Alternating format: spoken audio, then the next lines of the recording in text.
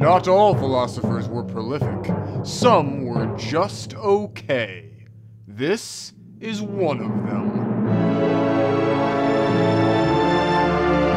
A rolling stone can gather no moss, but it can still pick up a lot of other shit.